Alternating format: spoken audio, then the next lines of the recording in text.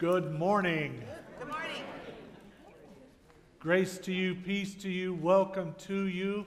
And uh, what a day for a daydream, except during the talk that Reverend Robin Kreider and I are having. Then you cannot daydream during that. It's only, save that for sermons. All right. Welcome to everyone, especially welcome to those who are visiting with us today.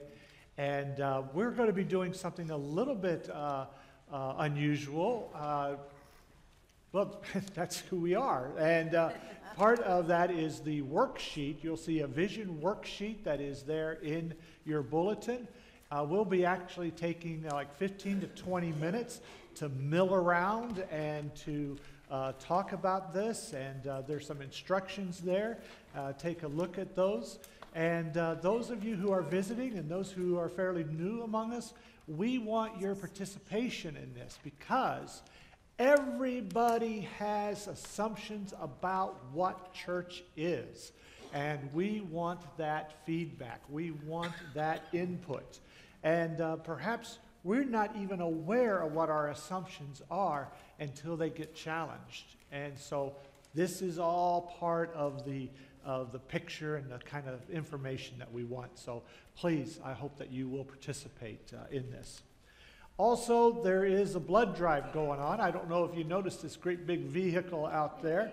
And uh, uh, there's still plenty of spots to sign up for that. And if you have some specific questions, I encourage you to see Lois there in the back. And she is, she is the person that uh, knows I was going to say knows all about blood giving. And uh, there, you, so there you go, whatever that means. And then, Karen, what, what do you have for us? Yeah, use a microphone. Good morning, everybody. Uh, behind the visioning worksheet, it's like classwork for church, I think, um, is this green piece of paper that says Meditators Unite. Um, I just wanted to say a quick word about that. After coffee chat next week or before choir the following Wednesday, we're just going to gather in the chapel, expect a short meeting of people who've had at least a passing interest in meditation. We will not be meditating during these meetings, but instead encouraging one another um, in our at home or out in the world meditation practice so that somebody will say, Oh my gosh, y'all, the other day I got up and cleaned my oven to avoid meditating. And somebody else will say, Me too. So well, it'll be a time to support one another, share um, and encouragement and advice and uh, things that have worked, things that haven't. So um, join us in the chapel the 3rd or the 6th. Um, and happy meditation in the meantime. Thanks. Thank you, Karen. All right. And so this morning we are going to uh, have a conversation with Reverend Robin Kreider. She is one of the founders of our congregation, and she was also instrumental in the putting together of our covenant, uh, kind of a statement of belief, uh, a kind of a vision statement for us. And we're going to have a conversation about that. And then after that conversation, you're going to be encouraged to go through this worksheet that is in here and to give us your feedback. We want to collect that, uh, and so there's a blue box on the horseshoe table in the back. So after you've given your input uh, and on your way out, just put it in that box and we will collect them. If you're the kind of person that needs more time and you need more time to think, and more time to pray, more time to meditate. Well, Karen has a class for you. And if you want to turn your worksheet in later in the week, that's fine as well, just bring it into the office. So that's who we are, that's what we're doing. Take a deep breath. Let's center ourselves. You may think that you woke up this morning and made a conscious decision to be here. All of that is true, but I would also say that the spirit of life and love is working in your life and is working in the world in such a way that brings us together. because we have gifts to offer each other and the word that we need to hear a word about life. So, welcome. And no matter who you are or where you are on life's journey, you are welcome here. So, Sands, would you please call us together?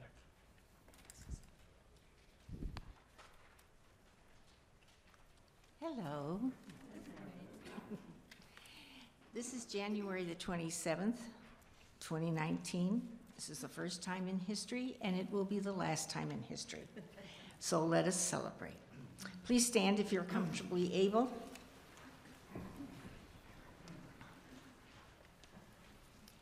It is good to be alive, to share life with each other in this wonder-filled, evolving universe. We are most grateful. May wisdom dawn in us so we can see all things in clarity. Let us sing. May the unity of our voices remind us we belong to God and to each other.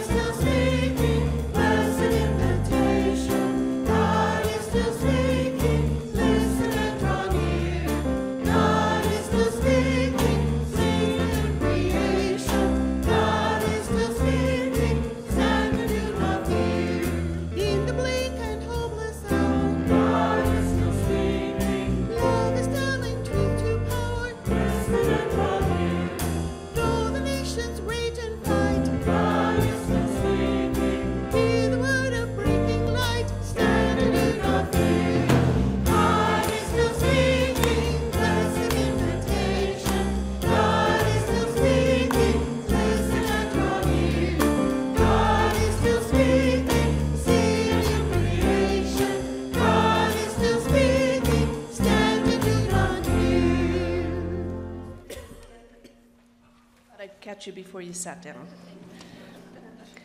So it is my privilege again to lead us as we um, recite our covenant together. We covenant one with another to be that sensitive and responsive part of human society, which perceives and responds to God's newest thrust in the midst of history. The uniqueness and greatness of every life is radically affirmed.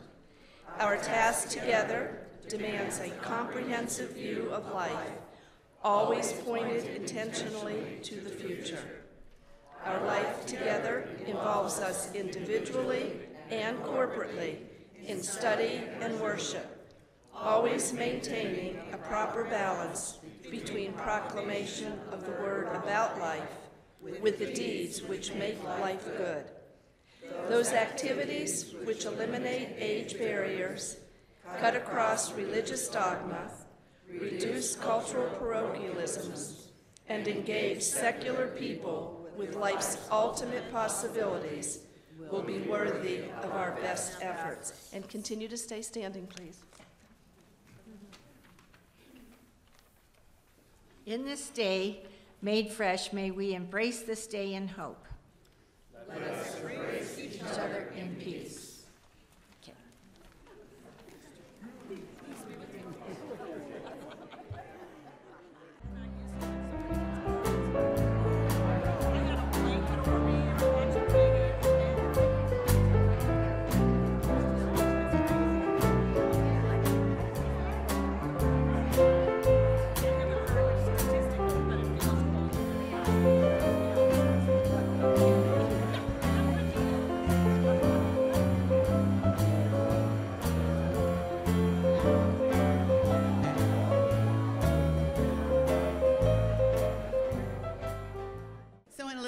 Going to stand again.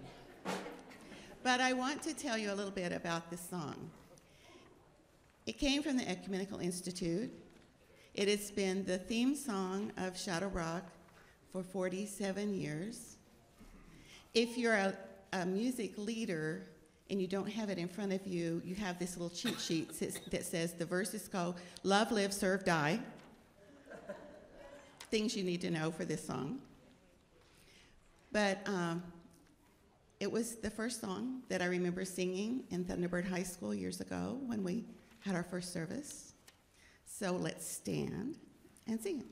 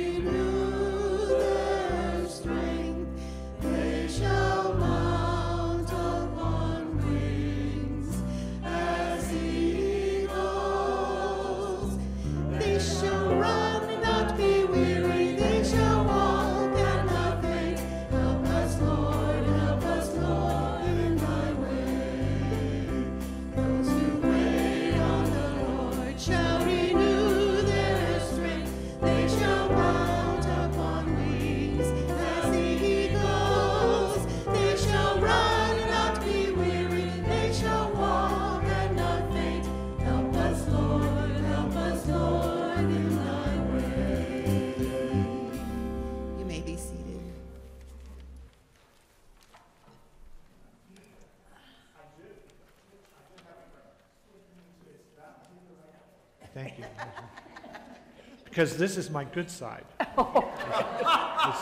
See, both my sides are good. so Yes, that's right. That's right. It didn't matter because both your sides are good. I got it. I think that's right. Robin, welcome home. Thank you.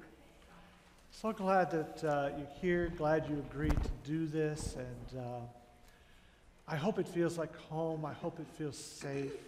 I hope it feels like coming back in some ways. Um, just glad you're here.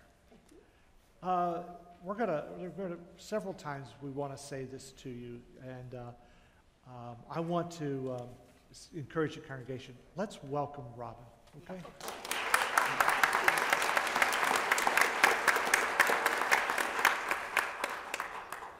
So, we don't have a lot of time, and um, uh, so we got to jump kind of right into it. I would rather have hours, really, to talk with you. Okay. And uh, so maybe, maybe we can have you come back, okay? Okay, so let's jump into it. Got it. The covenant. We just stood up, we cited it, we, you know, because there's a sense of uh, creating a sense of belonging to each other when we, when we say words together and sing songs together. So the covenant, where did it come from? When we decided to become a new church uh, in history to, to see what impact we could make, um, we decided that one of the first things we needed to do was to write a covenant. It Took us weeks and weeks and weeks, by the way, to write this. It wasn't just an overnight thing. We had uh, developed a, um, a unit, um, a, a course uh, for adults and for children and teens, by the way, uh, where we dealt with several of the uh, theological understandings God, Christ, Holy Spirit, and the church. The question that we raised among ourselves was not surprisingly, what does it mean to be the church? And one of the things that we discovered very quickly was that we had people from a variety of backgrounds. You know, there was a time when you were raised in the Methodist church, you were a Methodist your whole life, Presbyterian, same thing, any of the denominations. We had such a rich, mixed variety of people, not only from Protestant denominations, but from Catholic and Jewish.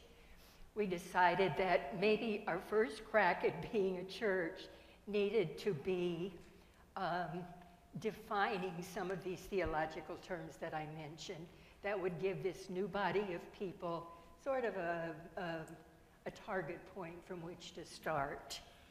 So that uh, a diverse group would have a shared language. Yes, Okay. All right. yes. So God, Christ, Spirit, and church. Church. The church as a social pioneer was a big part of that because there were four theologians that uh, were really drawn on to bring this this view of life and the role of the church together. Right. So, if you were to start a church today, would you start with the same covenant? I don't know. That's a good question. Uh, I think that the verbiage in the covenant is still relevant today. There's no question about that. At the same time, there have been a lot of changes over the nearly 50 years now. So I guess I would look at that and see what uh, we decide is pertinent for where we are today as a starting congregation, and then just take it from there. But yes, I, I, I, think, the, I think the covenant is still pertinent. It's, Our covenant is. I, I, I think so too. And, and I, I have to tell you that when I was looking for a church and I stumbled upon Shadow Rock, and we kind of stumbled upon each other. And uh, one of the members of the search committee said to me, it would be helpful in preparation for your interview with us that uh, you would know the covenant. And I said, okay. So I, I took a look at the covenant, and there were pieces of it I recognized from different theologians. Yes. And, uh, but what I got most excited about is that this was the only church I had ever run into that really was asking the question what does it mean to be in relationship to history? What does it mean to be on the right side of history? Mm-hmm. This was the only church I've ever uh, known to have that as part of their DNA. Mm-hmm. Is that, was that part of what you're doing? Uh, yeah, I, I guess one of, oh, the only respo- one of the responses I would make to that is how you define right side. How do you define the right side of history? Yes. And that is all part of the process that you deal with in writing a covenant or a vision statement. And maybe right isn't the right word, and I, I don't have another one to fill in, but, you know, right as opposed to wrong. I'm just really uh, cautious about being very specific. You know, Yeah. it's either wrong or it's right. And uh, Oh, we're gonna, we're gonna have a discussion then. oh, That's right really now? good. Yes. Oh, Yes. Okay, it's because, because, um, uh, I have, I have heard that, Robin, that, that notion of one of the blessings of being in Shadow Rock is that you're not going to get into these shouting matches or these, these contests about right and wrong. That it is a process of of discovery, very much an existential, individual kind of, kind of uh, process. Is that, is that what you're affirming? Yeah, I think so, and I think that each, it, it, it's sort of like the situational ethics or situation ethics where, you know, it's one thing to say, you know, you, you tell your child, I don't ever want you to cross at that, that road crossing. Yes. Well, he comes there one day and the road is flooded. So is it right for him to do what mom said, or does he have to come up with some kind of an alternate? So that um, in terms of whatever situation it is you're in, you make a decision, you lift that decision up to history, up to God, and you know that it's God's will for your life somehow. Now, that doesn't mean that it won't change tomorrow or next week, but, but that, that's kind of the way I see it as a situ- Yeah. situation. And, and I don't in any way mean to um, uh, dispose or, or find an easy way to get out of, of uh, defining something as right or wrong. Right. Because obviously there are rights and wrongs. But I mean, in the bigger picture, Yeah, so that, so, so for us, part of the, I, I think the evolution of Shadow Rock was, was to begin very much in that, in that place where um, um, we want to hear and honor everybody's journey. And, and that by virtue of being a human being, you have a place here in this fellowship. absolutely. Okay.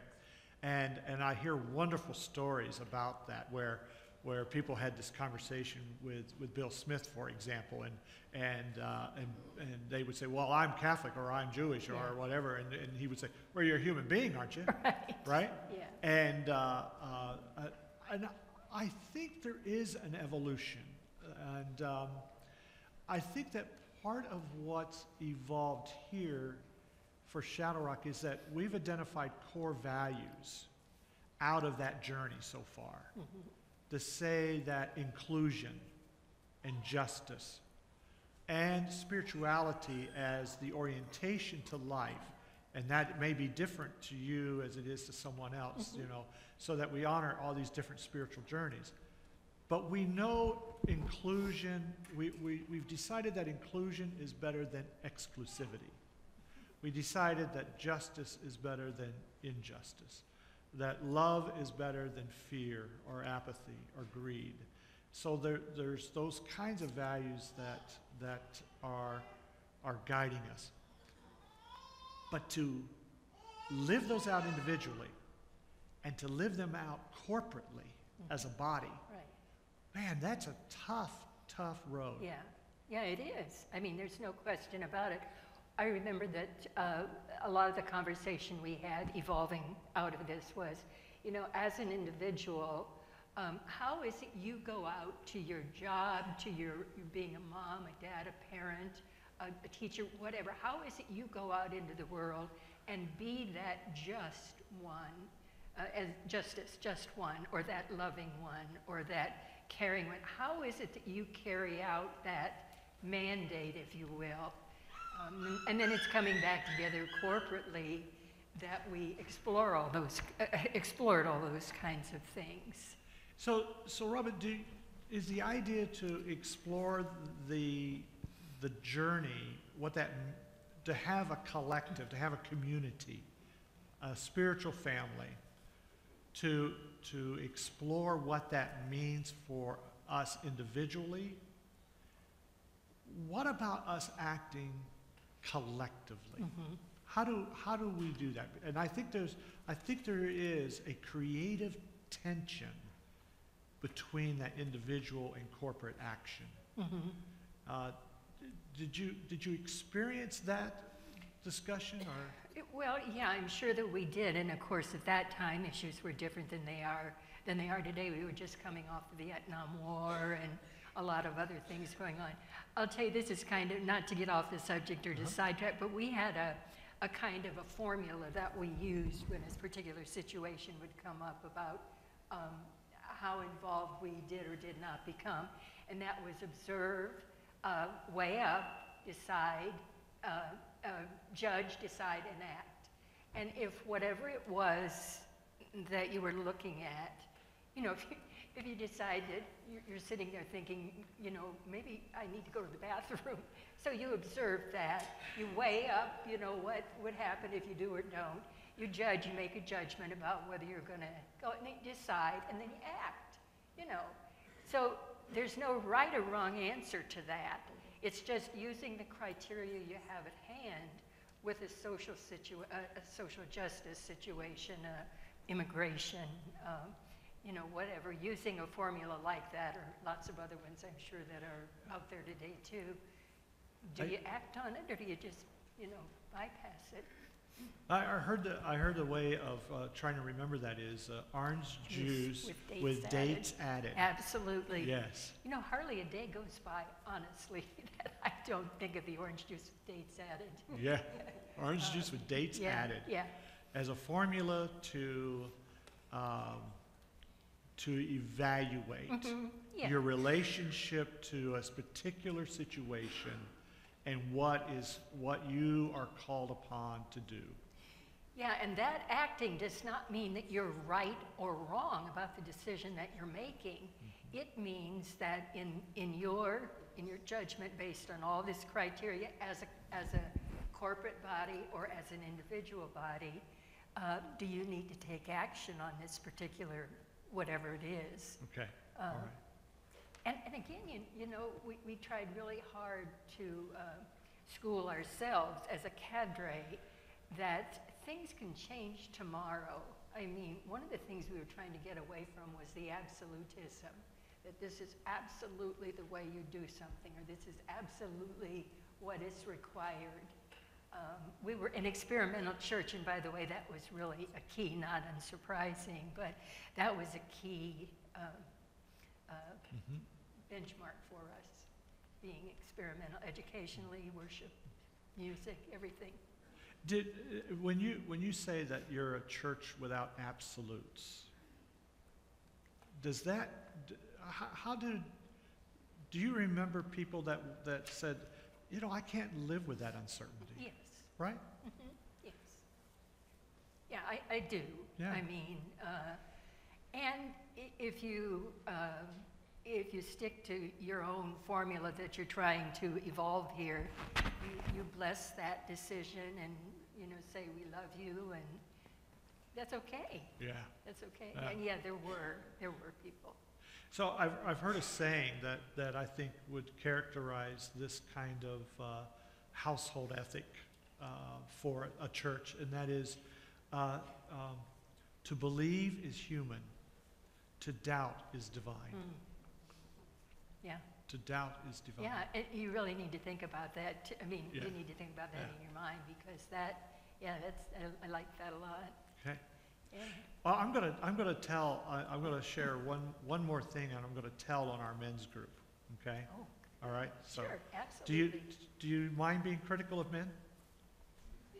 I try, well, Marilyn, why are you laughing?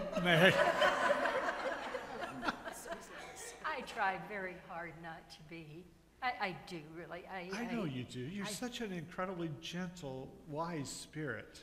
Well, I don't know about, you, you haven't seen me on my bad days. I just- All right, okay, so I'm gonna tell on our, men- I'm gonna tell on our men's breakfast Good. group, okay? So we were talking about the, about this exercise that we're going to do in turn, and what is the role of a vision statement? And that perhaps a vision statement as something for our board, uh, for our congregation to bounce off of before we, as we observe and judge, weigh and decide and act, um, that, that we're, we're going to bounce off of a vision statement, that it acts as kind of a compass for us. And uh, if we had had, if we had been more mindful of that, what would we have done with the issue of immigration that we've been so deeply involved in for the last four and a half, almost five years?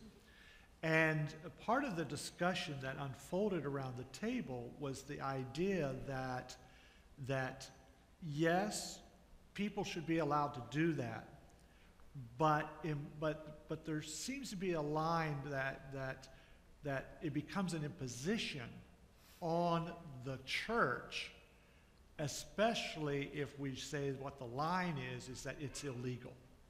If what you're doing is illegal, even if it's to, to go or, or not to comply with an unjust law, then you've crossed, you've crossed the line of what the covenant's intention is.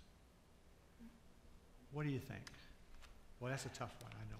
Well, again, you know, using a formula, whatever, mm-hmm. you know, you, you obviously have to weigh up, in this case, for example, the illegal, possible illegality over against the, the need that is there. Um, I guess I, I, I'm thinking about all the, the words that are in the covenant. I guess I don't see the uh, necessary conflict. Did, did the uh, conversation include a specific on what that conflict might be? Or, or what they did not see in the Yeah, covenant? I think, I think the conflict it was that, was that if it's illegal, then you just shouldn't do it. In, uh, in other words, th- it seems to me the assumption is that the church as an institution in society needs to be reflective and, and supportive, needs to be pro-establishment of that society. And when you break the law, then you are, are going against established society. Hmm. If you don't like the law, if you think it's unjust, then you work to change it, but you don't break it. Mm-hmm. And, and the counter argument to that is that there, that the only way that unjust laws are changed is when they are challenged, mm-hmm. hard challenged, mm-hmm. and, and not complied with, and maybe even broken. Where does the covenant guide us on this? Um, Did, you weren't ready, I, I forgot to tell you I was gonna ask you that question. I- You what? I didn't know what you said. I forgot to tell you I was gonna ask you that Oh, question. oh. I, I, By the way, we did not plan this, just kind of big picture, we did not, Yeah. we did not determine. You know, I, I- as you were talking, I was thinking about some of the other com, uh, uh, ideas and thoughts we included, maybe, uh, um, not as obviously in the covenant. But I mean, when you talk about, for example, justing love, you know, what does it mean to build just structures in the world? Well, sometimes um, you can't put that within a framework to determine what it means to be um, a, a just person, a just society, um, a just program in this case. Um, I would have to say very honestly, and if any of your men are out here, this is not, this isn't a personal kind of thing, it's just me sort of thinking off the top of my head. If, if it is honestly thought that, for example, the immigration may be breaking some of the laws, or, I, I, I just think you need to go back and examine that and, and kind of weigh up what the needs are, what the opportunities are for this church to meet those needs, and, and in terms of breaking the law. And I am not suggesting that it's prudent to, uh, uh, you know, break the law. But, but I, I think, I think the, the, the concern that I have is that we not reduce the um, idea of possibly being illegal to a law.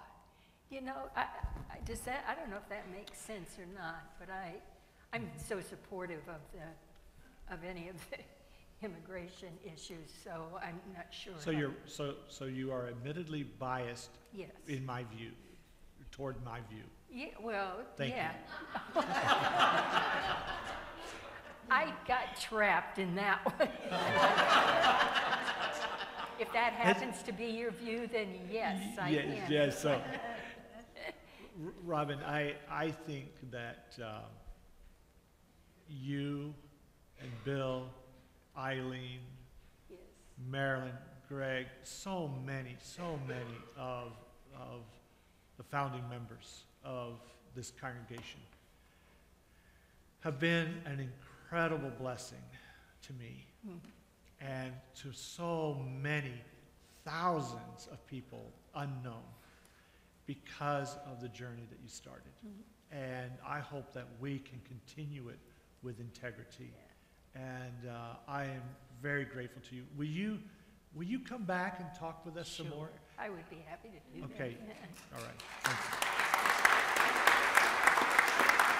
Do you have any final, do you have some final words for us? Uh, can I just tell you sort of a funny story, really unrelated to, to what we're talking about? Absolutely. I ran across some notes the other day, the day that we broke ground for this amazing facility, facilities was um, May 16th, 1976.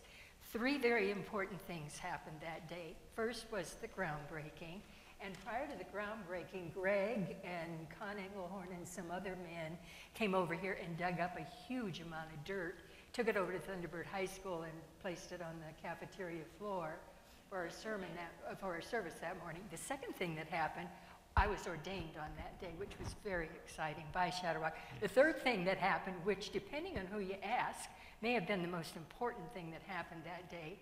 The Suns, for the first time in their franchise history, made it to the finals. they beat the Spurs that day and would go on to beat the Warriors and then the, the Celtics, who, who finally won the competition. But it was so funny because uh, the most wonderful people in our congregation opted to, to watch that game. And, and they had Bill's blessing. That's what I was talking about. So, anyhow, that was, no, but, but I, um, I, I love our covenant. I mean, it's just, to me, it's just sort of the end all and be all. And it's interesting, I don't have it up here, but I carry, still carry my card in my wallet, and I look at it quite regularly. So. And, and I also wanted to say, I never stop. Um, no, I also wanted to say the comments you said about uh, recognizing the efforts and works of the, the charter group of people. Uh, any of us looking down through history are so grateful for yourself and for people today who have, uh, who, who just hang in there and are still um, they're, they're like our kids, you know. We just, we're so proud of everybody. Uh, yeah, Well, yeah, thank you for yeah. that. We'll take that as a blessing and encouragement to continue and let this not be the last conversation, all right? Okay, All right. yeah. Thank now I'm going to let you go ahead and do what you have to do. All right. I'll Can get I out of offer an arm? Thank you.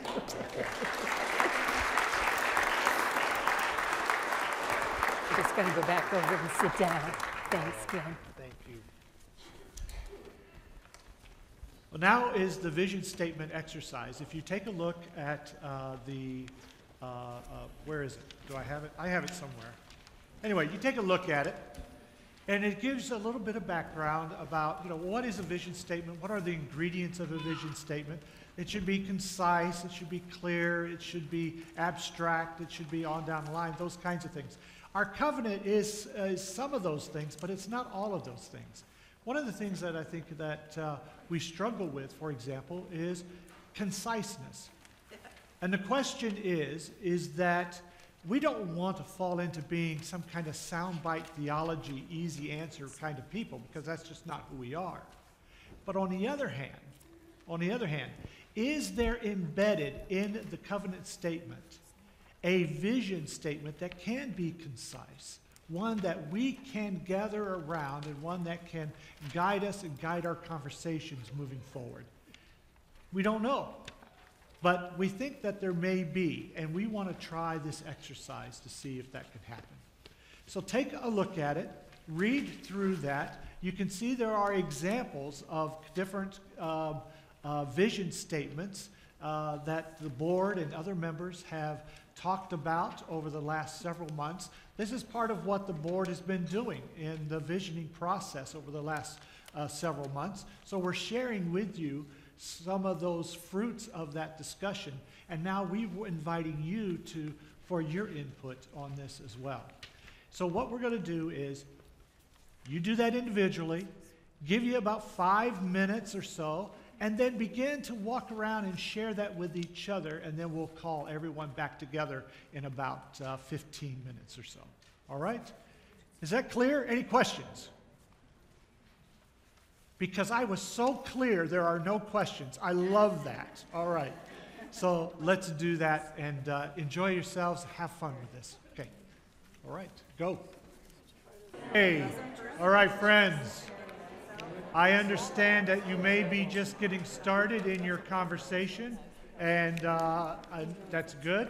It's always better to leave feeling more energized than tired out. So I hope you would continue this conversation over next door after our service with coffee chat. Talk with each other, get some uh, lemonade and some lemon bars from uh, Phil Meadows Lemon Trees, and uh, help yourself with that and continue the conversation. Again, if you have a statement, we ask that you would turn it in, uh, put it in the blue box in the back. If you need a little more time, keep it and then bring it. Uh, drop it off at the office or email us uh, what your thoughts are. We would uh, appreciate that. So, I want to thank you for your participation, and uh, this is not over. This is just uh, the beginning of uh, more conversation. Thank you so much for doing this. And now we get to respond with a dedication offering of ourselves and our offerings. So go ahead. For our community gathered here, and for the Spirit that called us together and brought us to this place, this in response to the word reflected on Let Us Give of ourselves and our offerings for a celebration of faith.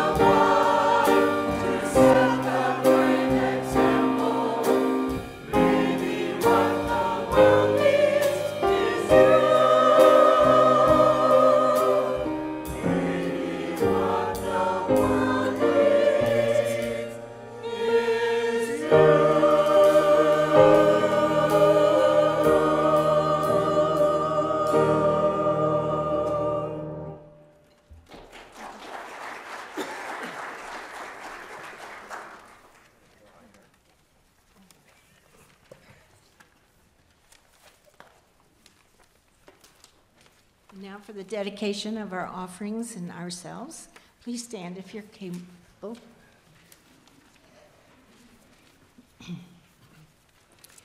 With faith in the creative powers of life, with hope for the future of life in this world, with love for all others who share this life with us, let us go forward together in peace. These are the times. We are the people. All of creation is blessed. May we love all and serve all. May God be with you. And also with you. Amen.